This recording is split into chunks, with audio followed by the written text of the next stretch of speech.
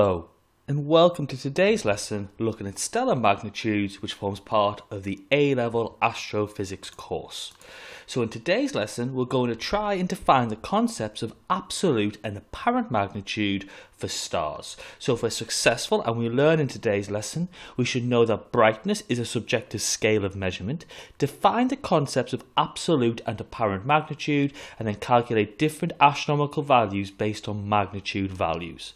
So we're going to cover the following part of the specification in the A-level AQA astrophysics option. We're going to look at classification by luminosity and we're going to look at absolute magnitude. So, we, can, we when we first observe stars by looking at the night sky, the first property we can deduce is the brightness of the star. Now, all stars have a brightness because they emit electromagnetic radiation. This is how we know they exist. Now, the brightness of a star is the star's most fundamental property. Now, when the ancient Greeks first looked to the night sky, they believed they could classify the stars due to their brightness, because the ancient Greeks believed that all stars were the same distance away from the Earth because they believed they all existed on the same shell above the Earth. So therefore the ancient Greeks reasoned that the brightness of a star was due to the power output of a star. Now we can classify stars due to their power output. Now the name that we give to the out power output of a star is called its luminosity. So the luminosity of a star is the amount of energy radiated out by a star per second because we're looking at the power of the star. Now luminosity is measured in watts and the luminosity of our own sun is 4.0 times 10 to the 26 watts. So the intensity of a star is the power received by an observer per unit area. So we can say that the intensity of the star's radiation is the power received over the area. So therefore the intensity of a star as measured from a particular observable point is measured in watts per meter squared and the intensity is the effective brightness of the star, how bright the star appears to the observer. Now the area of the sphere of rotation is emitted is proportional to the separation between the star and the observer squared, in essence the diameter of the sphere of radiation squared, so the intensity of a star follows the inverse square law with respect to distance from that star. So if the energy has been emitted from a point or a sphere like a star, then the intensity obeys the inverse square law because the energy spreads out in spherical shells where the area is equal to 4 pi d squared where d is the distance from the star, which shows us that intensity is directly proportional to 1 over distance squared, proving the inverse square square law. Now, to use the inverse square law, you've got to have the assumption that the star gives out an even amount of energy in every single direction. So to clarify, for any star, the luminosity is the total power output of the star, but its intensity is the apparent brightness observed for that star by the observer.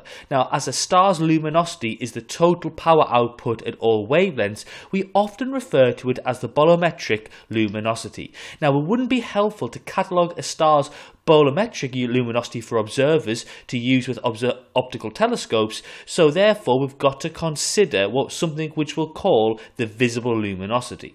Now, when the ancient Greeks first looked to the night sky, they believed that, like we said before, that they could classify the stars due to their brightness in the night sky. However, the issue is brightness is a subjective scale of measurement. Now, it means that it's, it's subjective because they're different distances from the Earth in the universe universe. So the closer a star is to planet Earth, the brighter it will appear in the night sky. Now, in this module, we will ignore the effect of air pollution, atmospheric distortion, and human interpretation. However, these are also other factors as to why brightness as a measurement is subjective to the observer. Now, however, the Greeks were unaware of this issue and classified the stars in the night sky based on their brightness as observed from the Earth with the naked human eye. Now, the ancient Greek who first did this was called Hipparchus, and therefore he called the brightness of a star its apparent magnitude. So, this means we're only considering the visible radiation emitted by the astronomical object because we're just considering it as it's observed by the naked human eye. So, this is the visible luminosity of the star, which is important when using optical telescopes to observe objects. Now, the apparent magnitude, because it is basically the effective brightness to the observer, is measured in terms of intensity, watts per meter squared. However, Hipparchus came up with his own scale of measurement as these units hadn't been established yet. It would take another approximately 2,000 years for this to take place. Now, apparent magnitude is given the symbol small m. So, Hipparchus's scale was subjective, it was completely dependent on Hipparchus's interpretation of how bright the stars were in the night sky. So, we call this the Hipparchus scale. So, Hipparchus decided there will be a six point scale to apparent magnitude. Magnitude 1 will be the stars with the brightest apparent magnitude, magnitude 6 will be the stars with the dimmest apparent magnitude magnitude. Now, in the time since Hipparchus uh, has lived, we have amended the scale to make it more mathematical. This is because before this, the scale was too subjective to human interpretation. So, with modern measuring techniques such as photography, CCD cameras, a more quantitative approach to apparent magnitude can be made. So, these devices allow the intensity of the light from a star to be measured, so the apparent magnitude scale now takes on a more precise meaning. Now, the branch of astronomy that deals with this is called photometry, and towards the end of the 1700s, William Herschel devised one simple but inaccurate method to measure the brightness of the stars. Now, one key point that arose from his work was that the first magnitude star is about a hundred times as bright or delivers hundreds times much light to the Earth as that of a sixth magnitude star. Now, in 1856, Norman Pogson formalized the system by defining a magnitude 1 star to be 100 times brighter than a magnitude 6 star. So a, magni- a 5 magnitude difference corresponds to a difference in intensity of about 100 times.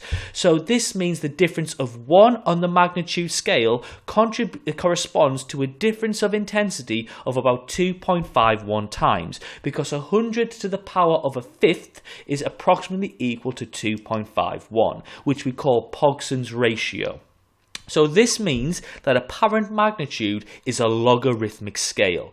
Now the zero point of Pogson's scale was originally defined by assigning Polaris, a star in the night sky, a magnitude of exactly 2. However, there was an issue because it was later discovered that Polaris was a slightly variable star whose, whose luminosity changed, sorry, its, its apparent magnitude changed, so therefore they switched to Vega as the standard reference star by assigning the brightness of Vega as the definition of a zero magnitude at any specified wavelength. So this is very important that this is only true for visible light wavelengths and different stars have different apparent magnitudes for different parts of the electromagnetic spectrum, but this is not covered in the A-level course. So this is a representation of the apparent magnitude scale. So, we can calculate the ratio of brightness by using the following equation. Intensity of star 2 over intensity of star 1 is equal to 2.51 to the power of m1 minus m2, the, the difference in the apparent magnitudes of the stars. So, for example, if we wanted to find the ratio of brightness between a magnitude 1 and a magnitude 6 star, we would do 2.51 to 6 minus 1, so 2.51 to the power of 5, which is 100. So, this means, like we said before, the difference in brightness between magnitude 1 and 2 is 2.51 to the power of 1, which is 2.51 times. 1 and 3, it's 2.51 to the power of 2, or 6.25 times as bright. 1 and 4 is 2.51 to the power of 3, which is 16 times as bright. 1.1 and 5 is 2.51 to the power of 4, which is 40 times. And finally, 1 and 6 is 2.51 to the power of 5, which is approximately 100 times. So it's important to remember this change in scale when estimating possible apparent magnitudes of stars in the sky. Now we have to further amend the Hipparchus scale in recent years as Hipparchus did his measurements with the naked human eye. Now, measurements with advanced telescopes can now observe stars with an apparent magnitude greater than 6. Now, we have to further amend this scale in recent years because Hipparchus did not realize that the sun was in fact a star and is very bright. So the sun has to have a negative apparent magnitude to fit on this particular scale, and the sun is minus 26.74. The moon has to have a negative apparent magnitude to fit on this scale, and Venus has to have a negative apparent magnitude to fit on this scale. So here is a scale of apparent magnitudes, with the sun at minus 26, the full moon at minus 19, Venus at minus 4, the, the star Sirius at minus 1.5, Vega at 0, and we've got Polaris there at 2. So again, here is another scale of apparent magnitude. Now remember, the lower the apparent magnitude, the brighter the star or astronomical object in the night sky, whilst the higher the apparent magnitude, the dimmer the star or astronomical object in the night sky. Now the advent of the Hubble Space Telescope has meant objects with apparent magnitudes of 30 that can now be observed, and it's important to remember that negative on this scale means brighter. Now care must be taken when you comparing magnitudes. Does a bigger magnitude mean brighter, which is greater intensity, or dimmer, bigger number. It's safer to talk about brighter or dimmer magnitudes rather than this concept of larger or smaller numbers. Now, again, just to help you out, here is a scale of apparent uh, magnitude so you can see the difference in, in brightness relative between each stars. Now, the apparent magnitude is subjective because it depends on the distance from the Earth, so it's not a very good measure of an intrinsic property of the star. So if we wanted to compare the power outputs of the star, the apparent magnitude isn't ideal because it also considers distance. Now, therefore, we came up with another measurement for uh, stars, another property, and we call that the absolute magnitude. Now, the absolute magnitude is a more absolute measurement of brightness. The absolute magnitude is the brightness of a star if the star was 10 parsecs away. Now, remember, one parsec is 3.26 light years, so it's how it's, it's will be 32.6 light years away. Now, the absolute magnitude is given the symbol big M, and it's a measure of a star's inherent brightness. So this means that absolute and apparent magnitudes are measured on the same logarithmic scale. So this means that any star closer than 10 parsecs to us would appear dimmer with this definition and have a higher absolute magnitude, which includes the Sun. Now, this also means that any star further away than 10 parsecs to us would appear brighter with this definition and have a lower absolute magnitude. Remember, negative means brighter on this scale. So the absolute and apparent magnitudes are linked with the following equation. Small m minus big M equals 5 log times by d over 10, where d is the distance between the star and the Earth in parsecs, and that's why we've got to use parsecs because the definition of absolute magnitude includes the concept of parsecs. Now, this equation is given to you in your examination equation book.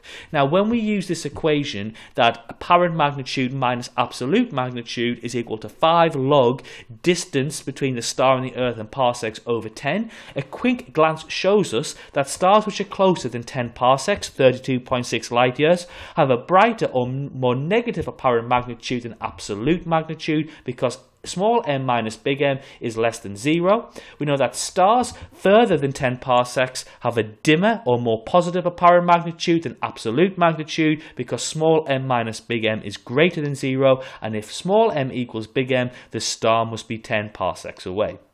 Now we can see the relationship between the values with the following table of values so you can see how they link to each other. Now, it's important that if you know the absolute magnitude, you can use this to work out the distance it is from the Earth. So this is a method used when a star is too far away to measure its distance via the parallax method. So here is a sample question you could be asked in an examination. The star Aludra in the constellation Canis Major has an apparent magnitude of 2.5 and is, is 3,200 light years from the Earth. Calculate the absolute magnitude of Aludra.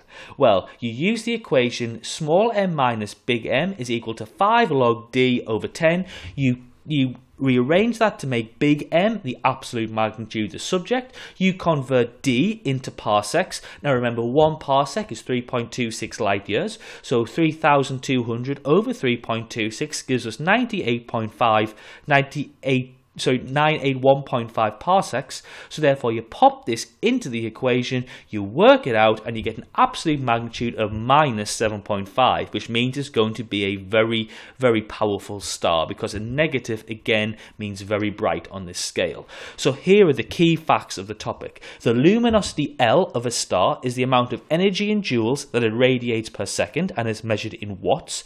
The brightness of a star at a given distance r is given by brightness brightness is equal to luminosity over 4 pi r squared.